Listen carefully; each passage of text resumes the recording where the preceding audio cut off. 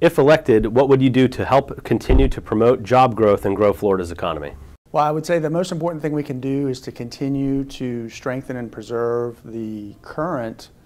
uh, tax and spend and regulatory environment that we have worked so hard to put in place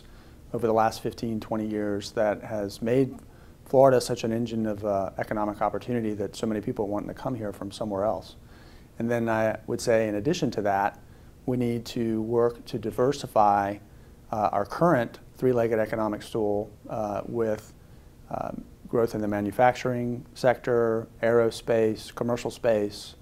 uh, IT, and uh, biosciences, life sciences. How would you improve Florida's healthcare situation? Well, I think we need to focus on uh, innovative, uh, private market-based solutions that uh, expand access and coverage and improve uh, healthcare outcomes and uh, at the same time uh, effectively contain cost growth. What challenges do you see in Florida's K through 12 education system and if elected, what would you do to address those challenges? Well, I think we are dealing with um, a shortage of workforce ready talent and we need to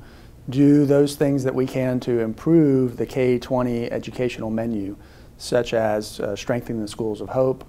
working to expand vocational and technical opportunities, uh, dual enrollment with our uh, state colleges uh, for high school students, and just uh, do those things that we can do to put in place a pipeline of talent uh, as, as we do hopefully grow our economy in those other industries.